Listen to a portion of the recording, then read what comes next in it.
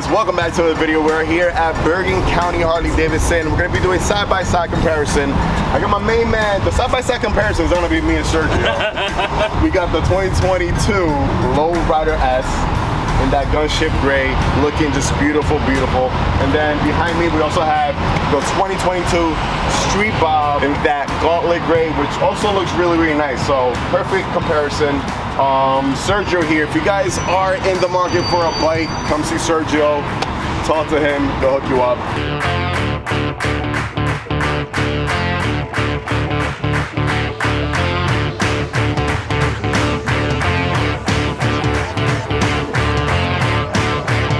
So let's get down to business, right? You guys have been requesting this video for some time now, uh, the comparison of these both bikes, because let's be honest, when you guys, when anyone's out there on the market looking for a Softail model, these two bikes are obviously the most popular. These two bikes are gonna be the ones you're gonna be looking at and going over. Obviously, these two bikes are very, very different. The Street Bob is more of a bobber type of bike uh, with a bobbed out fender in the back. Um, and then the Lowrider S is, is his own thing, his own identity. Really happy that for this year, the Street Bob comes with the mag wheels. As we all know, Street Bob always came with the spoke wheels, um, but this year we have the nice option of these beautiful mag wheels. Um, and they come out all blacked out, which makes the bike look a lot, lot nicer.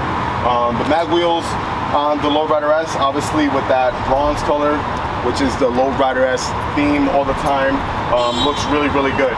Um, you got the 114 on the Street Bob as well. And then for the first time, we have the 117 on the Low Rider S here. So obviously a big, big, huge difference when it comes to the horsepower on both bikes. Both bikes are now punching out a ton of, ton of horsepower, ton of torque. Um, way different from before when the Low Rider S had the 114, which was what my bike has and then the uh, Street Bob had the 107 before as well. The Lowrider S comes with inverted front forks, which gives you a lot more comfort when riding, a lot more nimble. Um, it's easier for you to get more aggressive with your riding.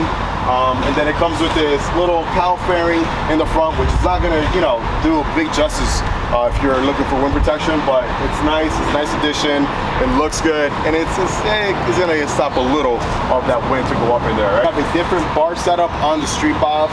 This is more of a bobber style type of bike. So we got those mini apes here, which feel really good from factory. They feel really comfortable.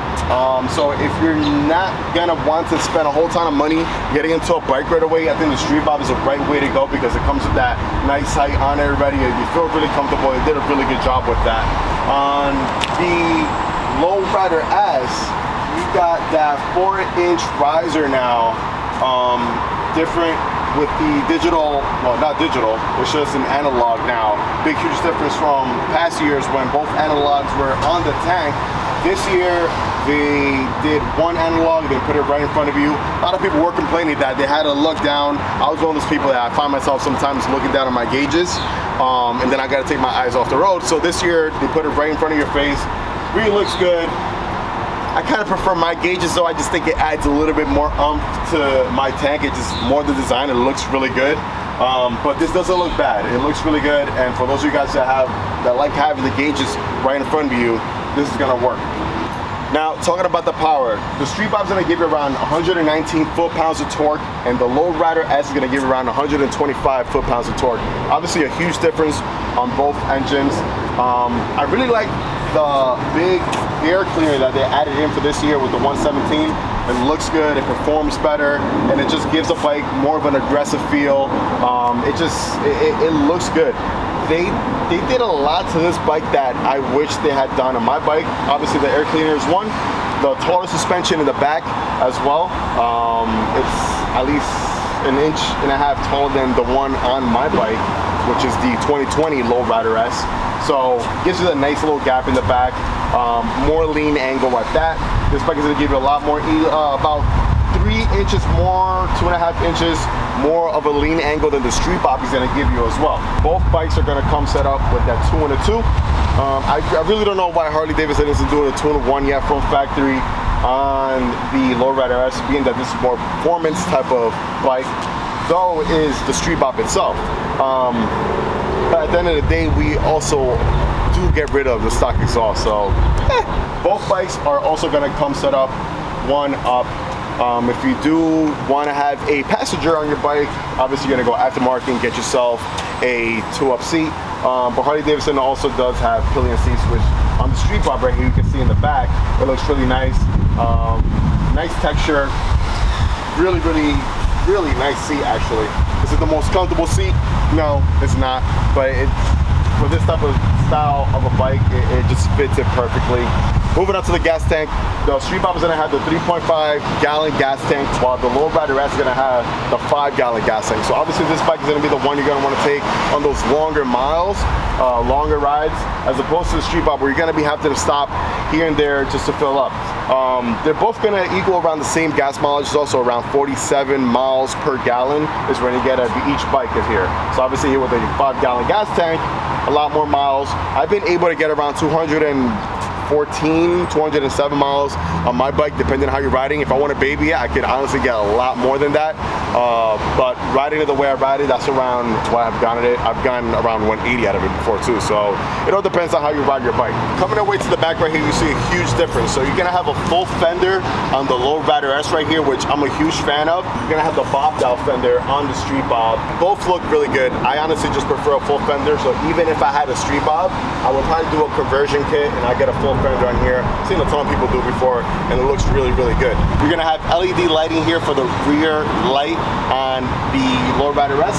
Um, no LED turn signals yet, Harley Davidson 2022 still, so no LED turn signals for the back of these bikes.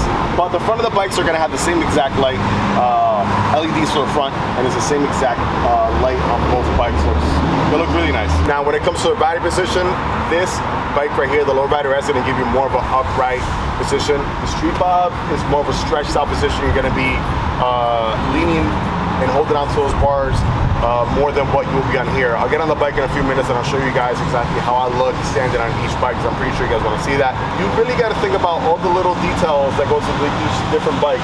They're so similar, but yet again, so different. The gauge right here, this is really nice. So it's both digital and it's just regular analog. So you're able to see your RPM, your speed down below, your gear.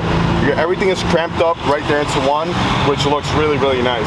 Now, on the Street Bob, that's gonna be a lot different. The Street Bob is gonna have this tiny little digital uh, gauge right here. This is actually the same gauge that you're gonna see now on the Lowrider ST models. Um, that's the one that they put on that bike. And honestly, it's not hard to see during the daytime. The sun does not block it. It's very easy. And you would think, hey, it's kind of small. It's gonna be very hard for me to see, but it's not. You're able to, everything's pretty visible. Your gears, your RPMs, any signs uh, that you're gonna have down here, your turn signals, everything's gonna be really, really clear for you to see. Now I'm gonna go ahead and sit on this bike, show you guys how I look. Um, if you wanna, wanna know how tall I am, I'm not too tall, I'm more on the shorter end. Around 5'7 on a good day. So yes, I'm still able to flat foot this bike so it fits me very comfortable. So if you're more on the shorter end like I am, um, don't be afraid, don't feel intimidated. Uh, the bike feels really, really good. Um, as far as controls go, they're both gonna have mid controls on both bikes. They both feel really good. So as you can see right here, I have a slight bend to my knee right here. I'm not scrunched up all the way up, but for you taller riders out there, six three and up, you are gonna feel a bit more, uh, a bit more scrunched up on this bike. On my Lowrider S, I have gone out and switched out um, my foot pegs. So they actually, they feel a bit lower than the stock ones do. And I switched a lot of things out on that bike. I'll put it side by side next to this bike at the end of the video so you guys see a huge difference on what you can turn this bike into. Obviously my style, more of a club style type of bike. Um, but as far as visibility now with the gauge, it's literally right in front of me as opposed to me looking down when I have both gauges here, which I have on my bike like I mentioned before. This is right dead on right in front of you. Um, and it's, it's real visible. Everything is, I, I really like the way they did this. I would have preferred for them to do two gauges. One gauge is okay, but two I think would have looked really, really cool. Um, it's just what I would have done. But this is this is fine, man. It looks really nice. I'm gonna go ahead and sit on the street bob here. Like I said before, this is more of a stretched out type of feel. So as you can see here, my arms are a bit more stretched out than what I was on there. Um, but still a real comfortable position. Same mid controls. Um, and they feel they both feel great. Something about this gas tank that I really like a lot. It's a smaller gas tank for a reason. It's just the way the lines on this bike flow. It's a very minimalistic type of bike. Um, this bike, obviously here, looking a bit more aggressive than what this is. This bike is not meant for that. Uh, even though this bike is turned into one of those aggressive bikes at times. And it's so customizable because you'll see both bikes with the same club style look on either bikes. But this, if you wanna, if you wanna have this bike more as a bar hopper, more around a town, uh, town type of bike, this is the perfect bike for you right here. Um, the gators in the front, uh, I don't mind them. It's just, like I said before, they kind of serve no purpose. Uh, but yeah, they're, they're, they're there. Now, a huge difference that you're also gonna see in these bikes is that this bike here comes with dual disc front brakes. This one only comes with one disc in the front. Now, for the average person, you're really not gonna feel that much of a difference, but for a type of rider who, you know, who's really rides very aggressive and is constantly on the brakes and the twisties, this bike is gonna have a lot more bite uh, than that one. Obviously, the two disc brakes make it a huge, huge difference. Now, when it comes to controls, controls are gonna be the same thing on both bikes here. Um, none of them come with cruise control. The only bike that's gonna come with cruise control, if you want that, is gonna be the Low Rider ST. Um, that one comes from factory. But talking about that, you can also add cruise control to these bikes. So Harley Davidson could add that onto you, go to your local dealer, and if this really want, then they could definitely add that onto you. It's not much of a cost. Um, I've actually thought about adding it onto my bike in the past, and I'm still thinking about doing that to this day right now. If I don't end up trading for the Lowrider ST. Now, another cool little feature that I forgot to mention about these bikes that they're both gonna have it is that they're both gonna have the USB port, so you're able to plug in your phone, plug in your cameras, whatever it is. It's a pretty cool idea. So when you're on the road and your phone dies, put it in charge on your bike while you're riding, and it, uh, it works really well. All right, so you're probably wondering which bike would I pick? Um, I'm the type, I'm the type of the right person to be asking that because I'm just, even though I really like the Street Bob, I think the Street Bob is an amazing bike. I'm just, at heart, I'm just a lowrider S guy. Like I had a, I got my lowrider S, I had a Dyna lowrider, um, and I still kind of want an FXR lowrider as well. So I'm just a lowrider guy at the end. Um, I would pick this bike any day. A, more power, more brake. I like the full fender in the back. It's a bit more customizable. Um, they're both customizable, but this one just so much more you can do with this bike. Um, the lean end one here as well. Um, that taller shock in the back. Uh, they really did a good job with that taller mono shock in the back for this year. It feels really, really good. It's the same mono shock you're gonna find on the Lowrider ST. I spent a lot of time on that bike when I was out in California, and I, I, honestly, I've never really had that much complaints on my 2020 Lowrider S when it comes to suspension, but let me tell you that it's upgraded drastically. You can really, really feel a big difference now. It's more plush. It just feels a bit more dialed in than what my bike feels. Um, so yeah, like me, honestly, I would I would pick the Lowrider S over the Street Bob any day. Sergio, I want to I want to get your take. So you come in here because I know you're kind of in the market, maybe so-so for a bike. Looking at both these bikes right here, what do you like about this bike, and what do you like about this bike, or vice versa? What would you pick? I think I'm in the same with you. Um, I had a Street Bob, I had a Dyna, I had a 2016, but the Lowrider, I just I want power, um, the bigger tank to go longer on longer rides, and I feel like you can just customize this so much more. You know, looking at your 2020, that's what my bike would look like. Yeah. so It could be yours if I sell it to you. I don't need to get divorced yet. We're gonna bring my bike over right now. We're gonna put it side by side to this one so you guys can see a nice comparison of what, you know, if you are in the market for this bike, what you can transform this bike into and make it look like if that's the type of route you wanna take. I think we pretty much covered everything. Like I said before, I really like the Street Bob. I'm a huge fan of the Street Bob. I think it's a great bike. Um, and if you are coming off from a Sportster, these are the two bikes you're gonna be looking at. If you're looking for a secondary bike and you have a bagger right now, you want something smaller, these are the type of these are the two bikes you're gonna be looking at from the get. Um, I get, it, it, I think it's pretty safe to say that when it comes to a Softail lineup, these are probably the most popular bikes out there. Can't keep them in stock. I don't know. they're in, they're out. Exactly. I was afraid we weren't gonna be able to do the video. Every day that went by, I was like, oh, it's gonna sell. I know. Um, that's pretty much it. We're gonna put my bike right here next to this one, show you guys what that looks like, and keep it moving from there.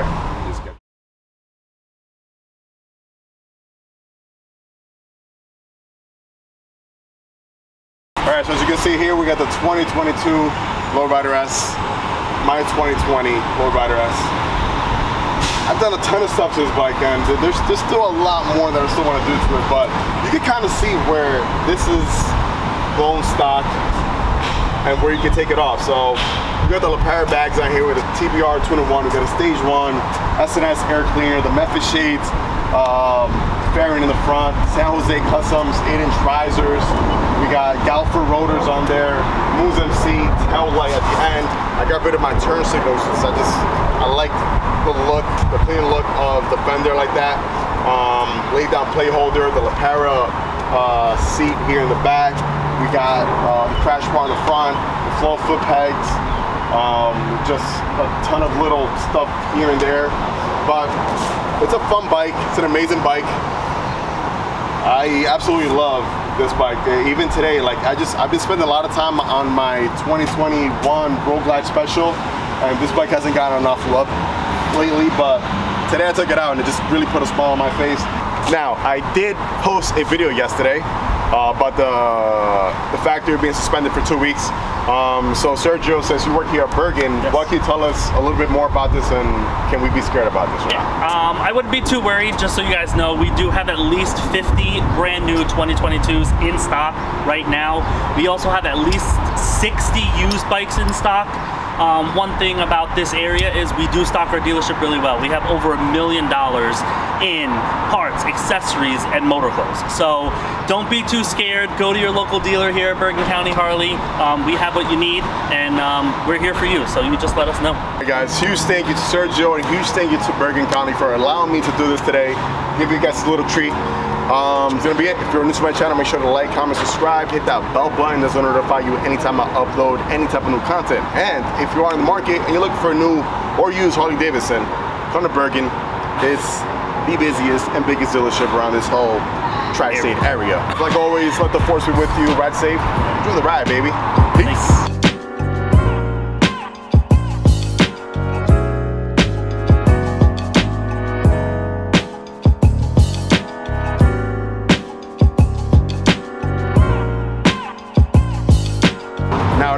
Feature, if you didn't know about these bikes, is that they're both gonna have uh, blah, blah, blah, blah, blah. What do they have? Hey. Take two. Take two. Now another cool. Mm. Three.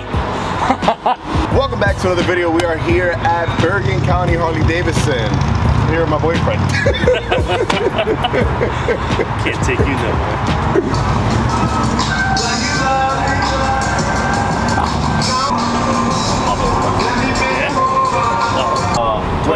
2022? 2022? Yeah, you said 21, but the 22s. I said 21? Twice. Take two.